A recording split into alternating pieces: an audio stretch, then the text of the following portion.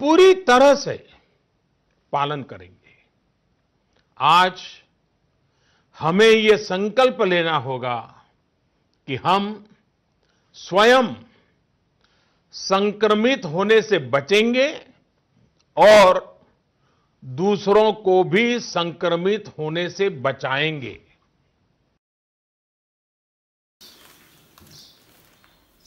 अधिक जानकारी के लिए संपर्क करें स्टेट हेल्पलाइन या 24 घंटे वाली national helpline toll free number 1075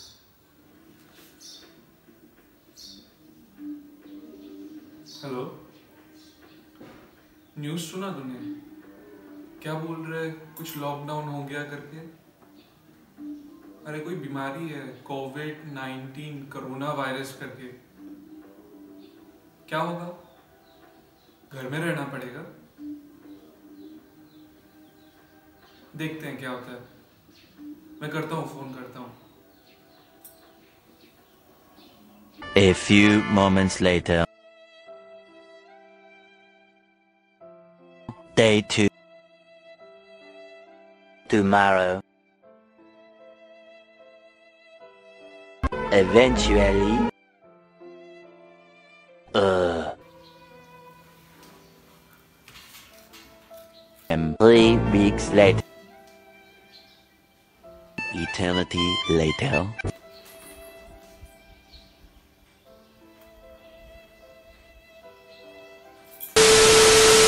Thank you अपना प्रेशियस टाइम निकाल के इस वीडियो को देखने के लिए मैं हूँ mister Roy from the mister Roy show जहाँ हम बात करते हैं उन टॉपिक्स के ऊपर जो आपको बहुत पसंद है।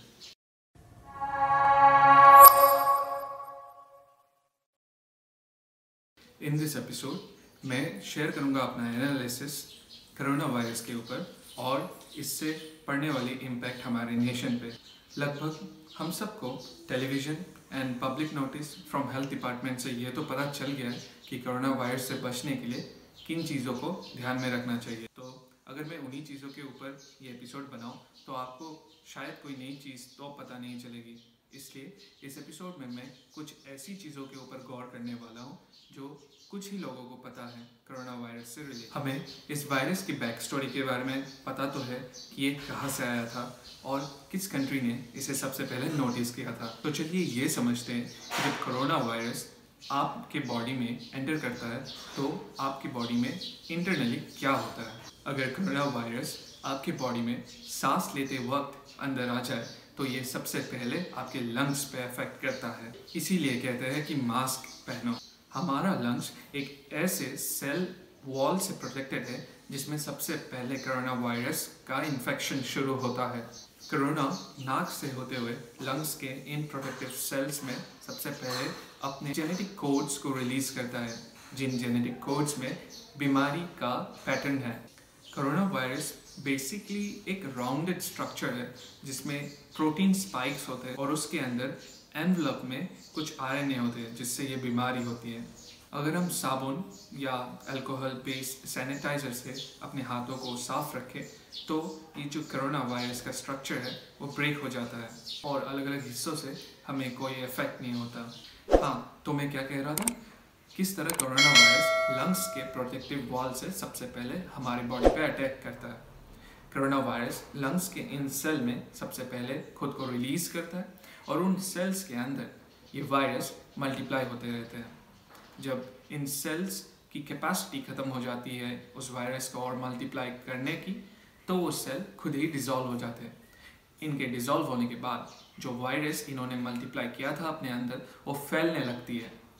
फैलने के बाद ये ये वायरस एक सेल से दूसरे सेल में ट्रैवल करते हैं। जब ये हो रहा होता है, तब हमें कोरोना वायरस के कोई सिम्टम्स नहीं दिखते। इसीलिए हमें बताया जाता है कि अगर आपको फील हो रहा है कि आप बीमार हो और आप पे लक्षण दिख रहे हैं जो कोरोना वायरस से रिलेटेड है तो आप अपनी नज़दीकी हेल्थ केयर सेंटर में कांटेक्ट कीजिए और डिस्कस कीजिए अपने सिम्टम्स एक्सपर्ट्स आपके साथ डिस्कशन में आपको समझाएँगे कि आपको ज़रूरी है कि नहीं टेस्ट करने की। कुछ ही दिनों में ये वायरस लंग्स के हर एक सेल में फैलना शुरू हो जाता है। और इससे हमें अब तक ज़्यादा कुछ इफ़ेक्ट नहीं पड़ता है। पर इफ़ेक्ट तब होने लगता है जब हमारी अपनी इम्यून सिस्टम हमें इस कोरोना वायरस से बचाने के लिए लड़ने को आती है। वैसे तो इम्यून सिस्टम हमारे बॉडी को प्रोटेक्ट करने के लिए बनी हुई है।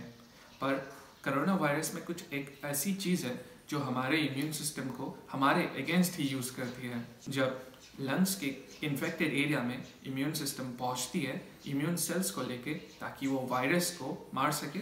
तो इस कंफ्यूजन में अच्छी हेल्दी सेल्स को भी वायरस समझ के मार देती है। ऐसा करने से इम्यून सेल्स सारे इन्फेक्टेड एरिया में पहुँच जाते हैं और सारे इम्यून सेल्स मिलकर हेल्दी सेल्स को बिना आइडेंटिफाई करे ही मारने शुरू कर देती है। जब ऐसा हो रहा होता है आपकी बॉडी में तब आपको ट्रीटमेंट की सख्त ज़रूरत होती है। आपको सांस लेने में प्रॉब्लम होती है, जिसके लिए वेंटिलेशन सिस्टम मेडिकल में यूज़ की जाती है।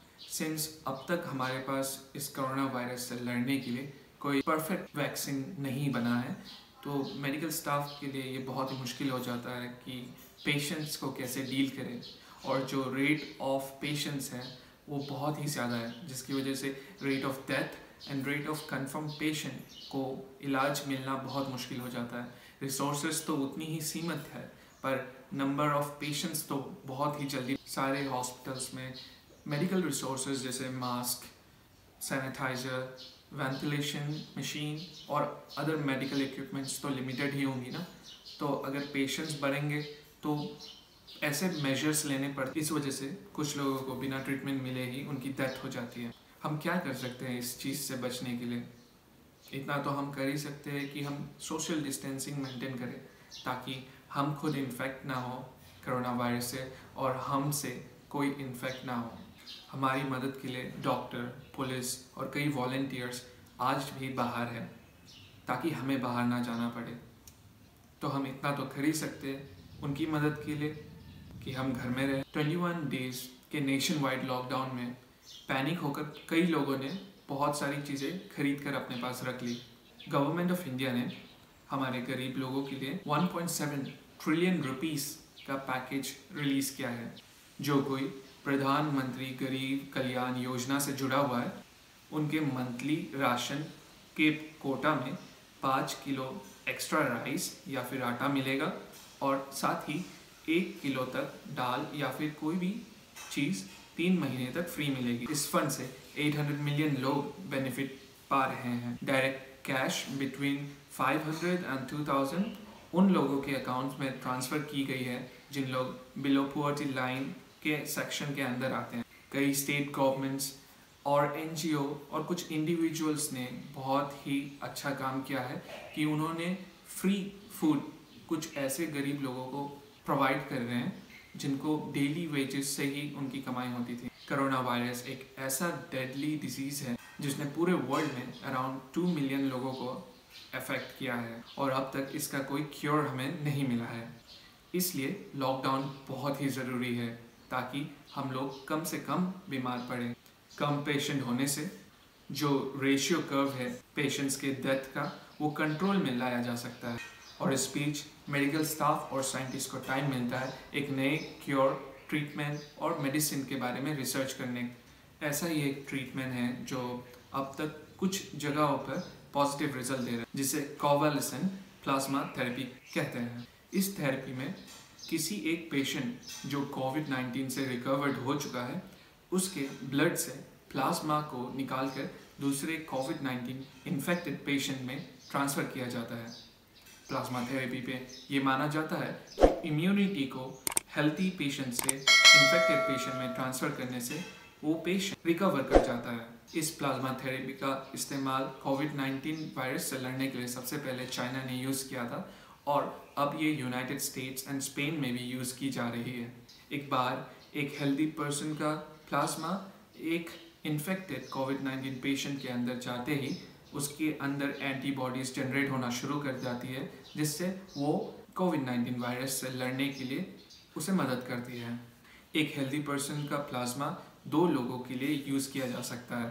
प्लाज्मा थेरेपी का डिस्कवरी एक जर्मन फिजियोलॉजिस्ट ने किया था, जिनका नाम था इमाइल वॉन वेहरिंग इसका सबसे पहले इस्तेमाल 1809 में किया गया था, और तब से प्लाज्मा थेरेपी का इस्तेमाल कई ऐसे समय में यूज़ किया गया है जब कोई मेडिकल फैसिलिटी काम नहीं कर पा रही थी, जैसे कि Ebola Spanish flu H one N one और अब कोविड नाइन्टीन प्लाज्मा थेरेपी काम कैसे करती है? प्लाज्मा थेरेपी एक सिंपल ब्लड डोनेशन की तरह ही है, पर इसमें एक हेल्दी पेशेंट से, जिसके अंदर कोविड नाइन्टीन से लड़ने वाली एंटीबॉडीज डेवलप हो चुकी है, उसके ब्लड को एक छोटे से मशीन में ट्रांसफ़र किया जाता है। यहाँ उस पेशेंट के ब्लड से प्लाज्मा को बाहर निकाल कर उसी का ब्लड उस पर वापस ट्रांसफ़र हो जाता है। इससे क्या होता है कि पेशेंट एक ही सप्ते में दो बार प्लाज्मा ट्रांसफ़र कर सकता है। अगर कोई आज मुझसे पूछे कि ये कोरोना लॉकडाउन कब ख़त्म होगा तो मेरा जवाब ये होगा कि ये क्वेश्चन गलत है। हमें ये सोचना चाहिए कि हम किस तरह इस वायरस को रोक सकें ताकि हर कंट्री दोबारा से फंक्शनल बन सके।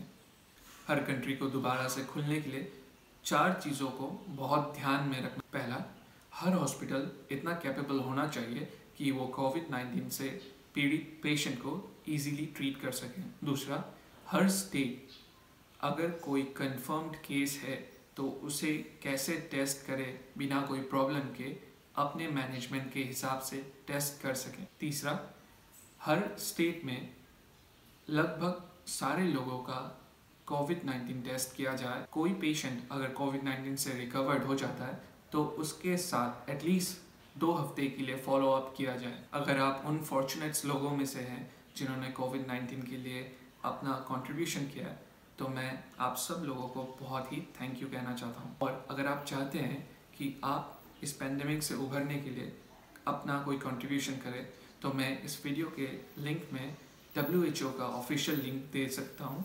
जहाँ पर आप जाकर कोविड से लड़ने के लिए डोनेट कर सकते हैं। ध्यान रखिएगा, इस समय जब सारे लोग घर बैठे हुए हैं, कुछ स्कैमर्स कोविड 19 को यूज़ करके स्कैम कर रहे हैं और डब्ल्यूएचओ के नाम से फंड जमा कर रहे हैं तो ऑफिशियल डब्ल्यू एच के लिंक पे ही जाकर अगर आप कंट्रीब्यूट करना चाहते हैं कोविड 19 वॉरियर्स के लिए तो प्लीज़ डब्ल्यूएचओ के ऑफिशियल वेबसाइट में ही जाकर डोनेट कीजिएगा। किसी पर्सनल ईमेल को एड्रेस ना कीजिए। आई होप इस वीडियो से आपको कोई नई चीज़ जानने को मिली होगी कोविड नाइन्टीन के बारे में। अगर आपको ये वीडियो अच्छी लगी तो काइंडली किसी एक दोस्त के साथ ये वीडियो फेसबुक या फिर इंस्टाग्राम में शेयर कीजिए। आगे आने वाले वीडियो में मैं आपके साथ एक नई टॉपिक के ऊपर फिर से अपनी एनालिसिस शेयर करूँगा। तब तक देखते रहिए, मिस्टर रॉय शो Meanwhile.